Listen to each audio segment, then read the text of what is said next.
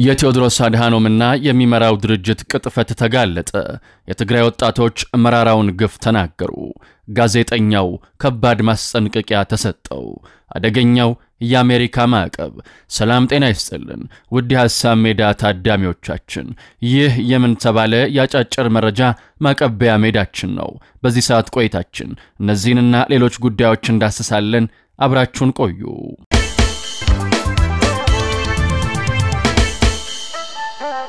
የዓለም የጤና ድርጅት 95 ሜትሪክ ቶን መድኃኒትና የመድኃኒት ግብዓቶችን ወደ ትግራይ እንዲያጓጉዝ ፍቃድ ቢሰጠውም እስካሁን የመድኃኒት ግብዓቱን ማጓጓዝ አለመጀመሩን ከብሔራዊ አደጋ ስራ አመራር ኮሚሽን የተገኘው መረጃ አረጋግጧል። የዓለም የጤና ድርጅት ኃላፊ ዶክተር ቴዎድሮስ አድሃኖም በተቃራኒው መድኃኒቶችን ወደ ትግራይ ክልል እንዳናስገባ የኢትዮጵያ መንግሥት ፍቃድ ከለከለን በሚል በተደጋጋሚ ክስ እያቀረቡ ይገኛል። ከዚህ ቀደም የኢትዮጵያ ፕሬስ ድርጅት የአደጋ ሥራ አመራር ኮሚሽን ኮሚሽነርን አቶ ምትኩ ካሳን አነጋግሮ የዓለም ጤና ድርጅት የመድኃኒት ግብዓቶቹን እንዲያጓጉዝ ማንም የከለከለው አካል የለም ማለታቸው ይታወሳል። ቀድሞ ፍቃድ እንደተሰጣቸው እየታወቀ ክልከላ ተደርጎብናል በሚል በዋና ዳይሬክተሩ በኩል የሚቀርበው ክስ መሠረተ ቢስ መሆኑንም ኮሚሽነሩ ጠቅሰው ነበር። በተያያዘም አሸባሪው የህወሓት ቡድን ወደ ትግራይ የሚገባውን የእርዳታ ምግብ ታጣቂ ኃይሉን እየቀለበበትና የተረፈውን ለነጋዴዎች እየሸጠ የትግራይ ህዝብን በረሃብ እየቀጣ ይገኛል ሲሉ የቡድኑን ግፍ በመሸሽ ወደ አማራ ክልል የገቡ የትግራይ ወጣቶች ተናገሩ።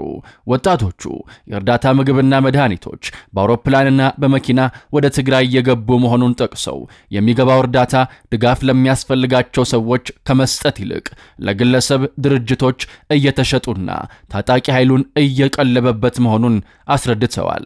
የሀገር መከላከያ ሰራዊት ትግራይ ውስጥ በነበረበት ጊዜ የትግራይ ህዝብ ወደ ክልሉ በሚገባ እርዳታ ተጠቃሚ ነበር የሚለው ከአዲግራት ከተማ ተሰዶ ወደ አማራ ክልል የገባው መሐሪ አብርሃ አሁን ግን እንኳን እርዳታ ሊሰጥ ይቅርና ህዝቡ እህልና ገንዘብ አምጣ እየተባለ በህወሓት የሽብር ቡድን ግፍና መከራ እየደረሰበት ይገኛል ብሏል። አውሮፕላን የእርዳታ ቁሳቁሶችን ይዞ በቀን ሁለት ጊዜ ወደ ትግራይ ይመላለሳል። መኪኖች በአፋር በኩል ብዙ የእርዳታ ምግብ ጭነው ወደ ትግራይ ገብተዋል የሚለው ወጣት መሐሪ፣ ነገር ግን የትግራይ ህዝብ እነዚህን የእርዳታ ምግብና መድኃኒት የት እንደሚገቡ እንደማያውቅ ገልጿል። በፊት ልጆቹን ወደ ጦርነት ለሚልክ ወላጅ ብቻ እርዳታ፣ አሁን ግን የሚገባው እህል ለግለሰብ መጋዘኖች እየተሸጠ ነው። የተረፈው ደግሞ ለቡድኑ ተዋጊዎች የቀለብ ፍጆታ ይውላል ሲል ያለውን ሁኔታ አብራርቷል። በህዝብ የጤና ተቋማት መድኃኒት የሚባል ነገር እንደሌለና በእርዳታ የሚገቡ መድኃኒቶችና የሕክምና ቁሳቁሶች ለግል መድኃኒት ቤቶች እየተሸጡ መሆኑንም ተናግሯል። በጣም የሚገርመው ነገር በዶክተር ቴዎድሮስ አድሃኖም መሪነት የዓለም መንግስታት የእርዳታ ምግብና መድኃኒት ወደ ትግራይ እየገባ አይደለም ሲሉ እየጮሁ ነው የሚለው ወጣት መሐሪ ከመጮኋቸው በፊት ወደ ክልሉ የሚገባ የእርዳታ ምግብና መድኃኒቶች የት እየገቡ ነው ብለው መጠየቅ አለባቸው ሲል የዓለም አቀፉ ማህበረሰብ ሚዛናዊነት የጎደለውን ወቀሳ ይኮንናል። የትግራይን ህዝብ በረሃብ እየጨረሰ ያለው የህወሓት የጥፋት ቡድን መሆኑን ሊገነዘብ ይገባል ሲል አስተያየቱን ሰጥቷል። የኢትዮጵያ ህዝብና መንግስት ለትግራይ ህዝብ ያለውን በጎ አመለካከት በትክክል እያየነው ነው። ከትግራይ ተሰዶ የሚመጣውን ህዝብ እየተንከባከበ ያለው በህወሓት እንደ ጠላት የሚታየው የአማራ ህዝብ ነው ብሏል። በሚኖርበት አካባቢ ከሶስት ጊዜ በላይ ለእርዳታ ተመዝግቦ አንዴም እንዳላገኘ የሚናገረው ደግሞ የአዲ ጉዶም ከተማ ነዋሪው ቢና ማርያ ነው። እሱ ብቻ ሳይሆን አብዛኛው ህዝብ እርዳታ እንደማያገኝ የገለጸው ቢንያም ወደ ትግራይ የሚገባው እርዳታ ወደ የት ነው የሚሄደው የሚለው ፈጣሪ ብቻ ነው የሚያውቀው ሲል ተናግሯል።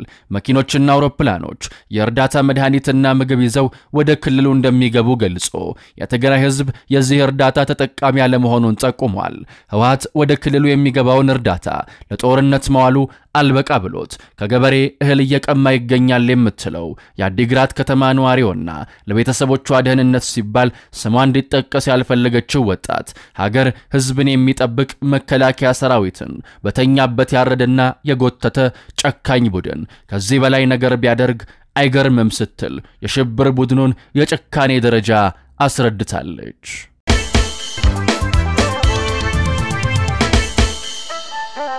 የኢትዮጵያ መገናኛ ብዙሃን ባለስልጣን በኢትዮጵያ ለዘ ኢኮኖሚስት ዘጋቢው ቶም ጋርድነር ማስጠንቀቂያ ሰጠ።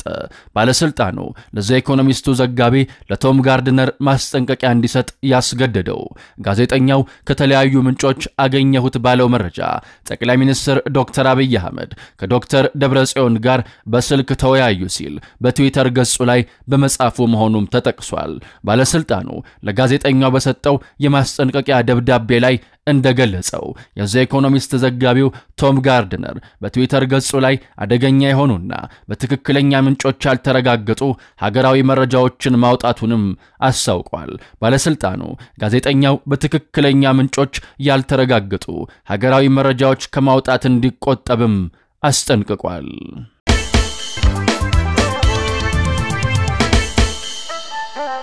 የአሜሪካ ኮንግረስ አባላት ባረቀቁት HR 6600 እና 3199 በተባሉ ሕጎች ላይ ያላካተቱት ነገር ቢኖር የመንግሥትን ሥልጣን ለህወሓትና ኦነግ አስረክቡ የሚለውን አረፍተ ነገር ብቻ ነው። ተኩስ አቁሙ፣ ተደራደሩ፣ እርዳታ ለትግራይ እንዲሰጥ መንገዶችን ክፈቱ፣ ወዘተ የሚሏቸውን ቅድመ ሁኔታዎች። እሺ ብለን ብንቀበል እንኳን መንግሥት ምንም አይነት የኃይል እርምጃ ከመውሰድ መታቀብ አለበት የሚለውን ቅድመ ሁኔታ እንዴት ልንቀበለው እንችላለን? The Government of Ethiopia has ceased of all offensive military operations associated with civil war and other conflicts in Ethiopia መንግሥትን መንግሥት የሚያሰኘው እንደ አስፈላጊነቱ የኃይል እርምጃ በመውሰድ የዜጎችን ደህንነት የማስከበር ተፈጥሯዊ መብት ስላለው አይደለም ወይ?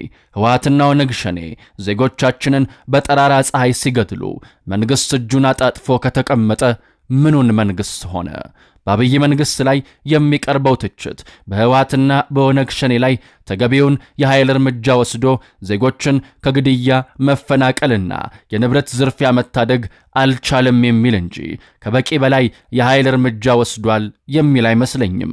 የአሜሪካ ባለሥልጣናት መንግሥት ህወሓትና ኦነግ አዲስ አበባ እስከሚደርሱ እጁን አጣጥፎ ይቀመጥ እያሉን ነው። የአሜሪካ የኮንግረስ አባላት ለኢትዮጵያ ከተቆረቆሩ ለምን ህወሓትና ኦነግን በስም ጠቅሰው ጦርነት እንዲያቆሙ ካልሆነም በሽብር ወንጀል እንዲፈረጁ አይነግሯቸውም።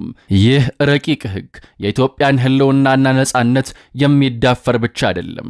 በአጠቃላይ ማዕከላዊው መንግሥት ተዳክሞ ኢትዮጵያ የነ ሊቢያን መንገድ እንድትከተል ለማድረግ ታስቦ የተዘጋጀ ነው። ኢትዮጵያ ደህንነቷን ለማስጠበቅ ከዓለም የጦር መሳሪያ ገበያ ሸመታ እንድታደርግ ብቻ ሳይሆን ከኢኮኖሚና የልማት ገበያዎች በማስወጣት በድህነት ብዛት እርስ በርሳችን እንድንተላለቅ ታስቦ የተዘጋጀ አደገኛ ሕግ ነው። በዚህ ሕግ የሚጠቀሙት ህወሓት፣ ኦነግ ሸኔ፣ ግብፅና ሱዳን ናቸው። ዋናው ተጎጂው ደግሞ መንግሥት አይደለም የኢትዮጵያ ሕዝብ እንጂ። በዚህ ሕግ መንግሥት ይወድቃል ብለው የሚያስቡ ሰዎች ካሉ ስለ ማዕቀብ ጥቅምና ጉዳት የተጻፉ መጻሕፍትን ያላነበቡ ወይም የነ ህወሓት ሐሳብ አቀንቃኞች ናቸው። ይልቅ መንግሥትን የጎዳን መስሎን ሀገራችንን በማፍረስ ሂደት አንተባበር። የለውበትም ማለትም ከወቀሳ አያድንም። ልብ በሉ፣ አሜሪካኖች ብቻቸውን የፈለጉትን አይነት ማዕቀብ ቢጥሉ ያው ቢጎዳም መቋቋም ይቻል ነበር። ነገር ግን ሩሲያ ላይ እንዳደረጉት ሌሎችን አገሮች አስተባብረው ኢትዮጵያን ለማድቀቅ ማሰባቸው ረቂቅ ሕጉን አምርረን እንድንቃወም ያደርገናል። በነገራችን ላይ ይህ በኢትዮጵያ ላይ የተሰነዘረ አደገኛ ጥቃት ካላሳሰበን ሌላ ምን ሊያሳስበን እንደሚችል አላውቅም። የኢሳቱ ጋዜጠኛ ፋሲሌን ያለም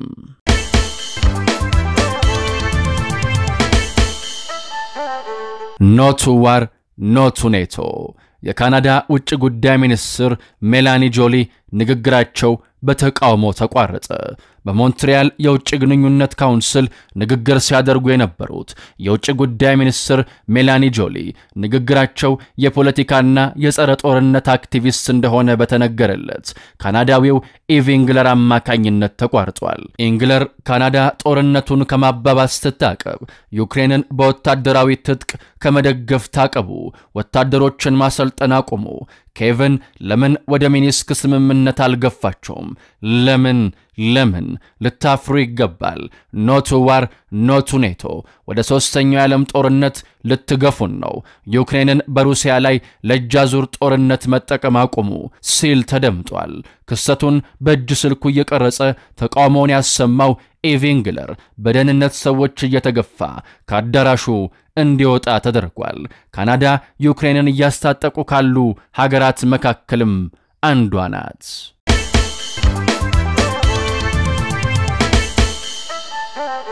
በአዲስ አበባ ከተማ የካ ክፍለ ከተማ ወረዳ 07 ቀበና ኪዳነ ምሕረት አካባቢ ለሕንፃ ግንባታ መሠረት በቁፋሮ ላይ እያሉ የተቆፈረው አፈር ተደርምሶ በሰዎች ላይ በመደርመሱ የአንድ ሰው ሕይወት አልፏል። የአዲስ አበባ ከተማ አስተዳደር እሳትና ድንገተኛ አደጋ ሥራ አመራር ኮሚሽን ፈልጎ ማዳን ሠራተኞች ርብርብ አንድ ሰው ማትረፍ መቻሉንና በኮሚሽኑ ቅድመ ሆስፒታል ሠራተኞች ወደ ሕክምና ማዕከል መወሰዱን ገልጿል። በከተማዋ ለሕንፃ ግንባታ የሚቆፈሩ መሬቶች መደርመስ አልፎ አልፎ የሚከሰት ቢሆንም መጪው ጊዜ ክረምት በመሆኑ እንዲህ አይነት አደጋዎች እንዳይከሰቱ በግንባታ ሥራ ላይ ተሰማርተው የሚገኙ የኮንስትራክሽን ባለሙያዎችና የሚመለከተው አካል ተገቢውን ጥንቃቄ እንዲያደርጉ ኮሚሽኑ አሳስበዋል።